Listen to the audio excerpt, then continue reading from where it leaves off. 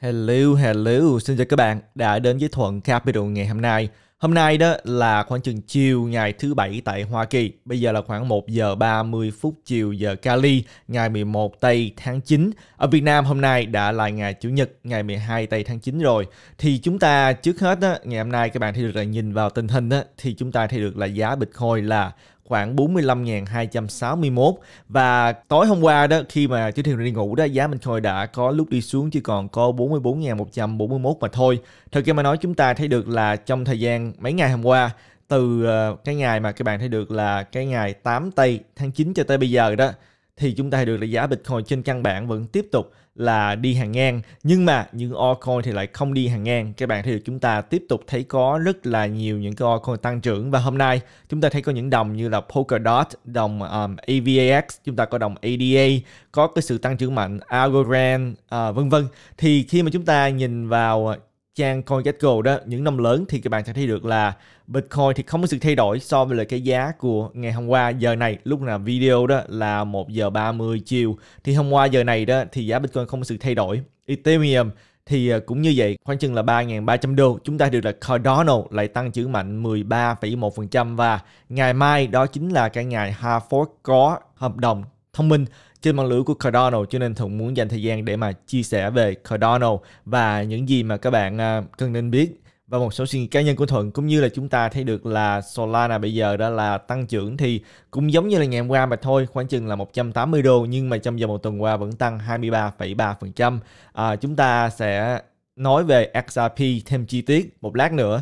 Polkadot cũng tăng thì hôm nay các bạn được chúng ta có rất là nhiều đồng uh, tăng trưởng. Chúng ta có Hedera Hashgraph tăng 24%, Avalanche tăng 17%, Cardano chúng ta mới vừa nói tới, OMG Network tăng 12%. Thì khi mà chúng ta thấy được là có nhiều cái altcoin tăng trưởng mạnh như vậy trong thời điểm mà Bitcoin đi ngang một câu hỏi mình thường nhận được rất là nhiều đó chính là những cái altcoin này đó các bạn chưa có lưu trữ các bạn có nên lưu trữ hay là không các bạn có nên đầu tư vào những altcoin hay không tại vì nếu các bạn đầu tư một đồng mà không có tăng trưởng mà các bạn nhìn thấy những cái token khác tăng trưởng, thì cũng dễ hiểu thôi. Nhiều bạn sẽ cảm thấy là có nên chuyển qua để mà lưu trữ những đồng mà đang nóng hiện bây giờ hay không. Thì đương nhiên, bản thân thuận nó không thể mà chia sẻ cho các bạn những cái lời khuyên đầu tư, nhưng mà thuận có thể chia sẻ những cảm nghĩ cá nhân của thuận. Tại vì thuận ít nhiều gì cũng hiểu được là các bạn đang có những cái suy nghĩ gì. Tại vì đó khi mà thuận tham gia vào bắt đầu mà thu mua altcoin năm 2017 đó thì nhiều altcoin cũng đã pump mạnh thời điểm đó rồi. Thường cũng có những cái câu hỏi tương tự như là bây giờ có nên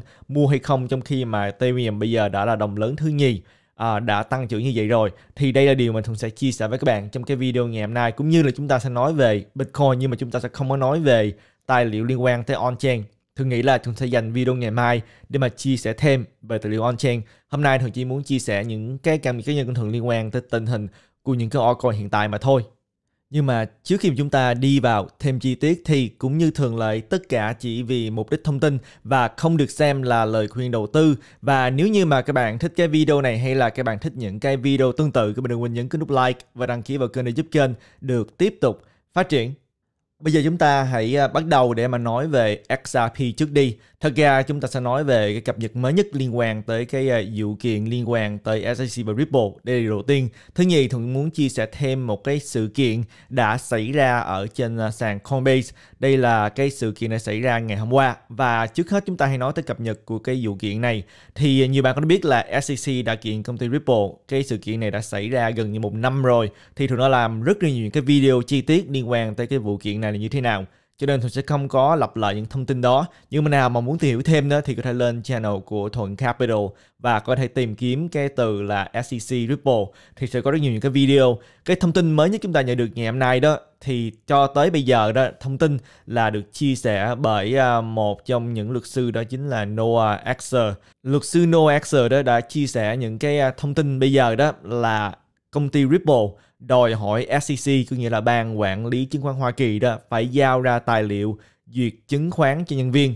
Thì có một điều mà con thấy là nhiều bạn à, không có rành đó chính là khi các bạn làm việc cho những cái đơn vị của nhà nước đó, thì nó sẽ có một cái gian phòng gọi là cái à, gian phòng đạo đức hay là ethics. Thì cái gian phòng này đó là một trong những cái gian phòng mà trách nhiệm đó là họ sẽ duyệt. Nếu như mà các bạn là nhân viên của ban quản lý chứng khoán Hoa Kỳ đi, các bạn muốn mua bất cứ cổ phiếu gì các bạn phải được duyệt trước khi mua.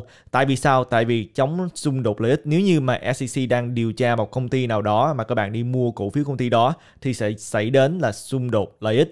Thì cũng tương tự, trước đây đó, khi mình thường làm việc cho KPMG hay là nhiều những công ty khác thì cũng phải được duyệt là chứng khoán nào trước khi mà được mua. Tại vì sao? Tại vì nếu như mà công ty đang kiểm toán cái à, công ty đó nhưng mà các bạn lại mua chứng khoán của công ty đó sẽ dẫn đến là xung đột lợi ích. Hy vọng các bạn hiểu cái lý do tại sao mà nhân viên của SEC phải được duyệt trước khi mà mua chứng khoán thì công ty Ripple muốn SEC giao ra những cái thông tin là đã duyệt những chứng khoán nào cho phép nhân viên mua thì tại sao như vậy? Ripple muốn biết đó là cá nhân SEC nào đã nạp đơn để được mua XRP hay là chưa. Tại sao lại vậy? Tại vì là luật sư của Ripple lập luận ở trên tòa đó, nói là nếu như mà SEC duyệt cho mua, có nghĩa là một nhân viên nào của SEC đó nói là muốn mua XRP rồi SEC duyệt để mà cho nhân viên đó mua, thì nghĩa là đồng XRP không phải là chứng khoán. Đây là một cái điều rất là quan trọng, đó là lập luận của công ty Ripple. Tại vì sao? Tại vì nếu như XRP là chứng khoán mà không có đăng ký giống như là SEC đăng cáo buộc công ty Ripple thì tại sao SEC lại cho nhân viên của họ mua XRP? Các bạn có hiểu cái lập luận của bên công ty Ripple hay không? Ý họ nói là như vậy. Cho nên họ muốn đưa SEC vào một cái thế kẹt đó chính là nếu như mà có bất cứ nhân viên nào mua đồng XRP làm việc cho SEC thì có nghĩa là XRP không phải là chứng khoán vì lý do thường mới vừa nói đến. Nhưng mà SEC đó, ban quản lý chứng khoán Hoa Kỳ lại không chấp nhận giao ra tài liệu này. Vì sao?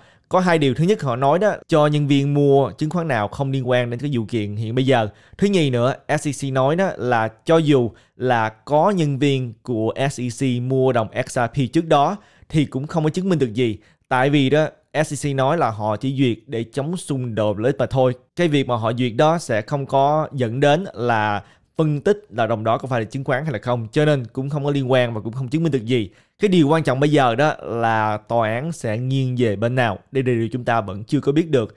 Thì thuận nghĩ đó là dù thích hay là không thích thì chúng ta cũng nên mong muốn Ripple thắng kiện tại vì điều này nó sẽ tốt hơn cho cả thị trường và đây sẽ là một cái mốc ngoặt rất là lớn tại vì SEC xưa nay không có thu kiện họ cứ đàn áp nhiều công ty khác nhau liên quan tới thị trường crypto này. Như là các bạn thấy được là thông tin Telegram, đồng Kick vân vân.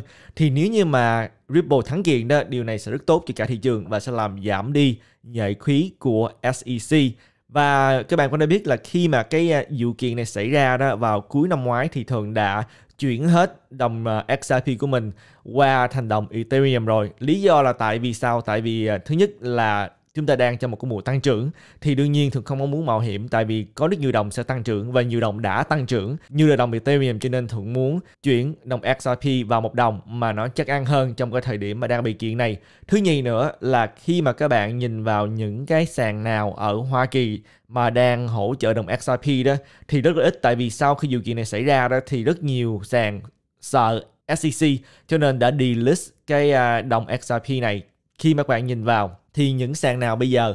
Cho các bạn giao dịch đồng XRP thì ngoại trừ những cái sàn DAX ra chúng ta à, có sàn FTX người Hoa Kỳ không có tiếp cận được. Sàn Binance người Hoa Kỳ cũng không có tiếp cận được. Các bạn thì được là sàn à, uh, HitBTC rất là nhiều sàn. Các bạn nhìn thấy trên màn hình đó là cho giao dịch XRP người Hoa Kỳ không có tiếp cận dễ dàng được.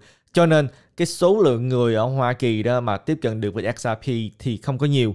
Và nhiều người á, thì họ chẩn đoán là chỉ cần là công ty Ripple đó có thể là thoát khỏi cái vụ kiện này có thể là họ chỉ bị phạt giống như là công ty Block One công ty đứng lưng của đồng US rồi sau đó tiếp tục hoạt động.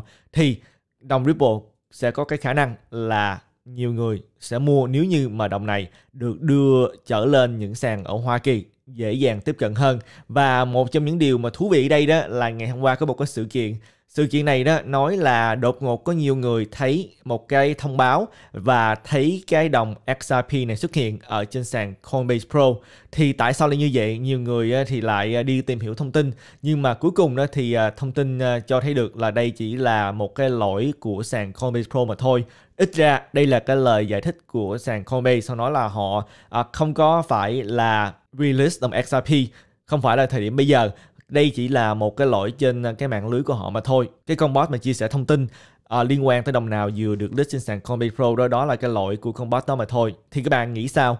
Các bạn có nghĩ là đây là một cái lỗi của mạng lưới của Coinbase thông báo là đồng XRP được release là cái lỗi hay là thật ra sàn Coinbase họ đang có ý định release đồng XRP này? Thì các bạn hãy comment ở bên dưới. Nhưng mà đây là cái thông tin mới nhất liên quan tới cái vụ kiện giữa SEC và Ripple. Và thật ra đó thuận thì cũng rất là thấy làm bất ngờ đối với cái sự chống trả kịch liệt của công ty Ripple. Tại vì khi mà vụ kiện này xảy ra đó thì uh, cái suy nghĩ lúc đó của thuận là SEC là đang thừa thắng xông lên. SEC bây giờ là đang uh, có rất là nhiều quyền lực. Thì công ty Ripple thời điểm đó thấy là yếu thế hơn nhưng mà cái sự chống trả kịch liệt của công ty Ripple không những là họ bảo vệ mà họ còn tấn công SEC về nhiều cái khía cạnh nữa.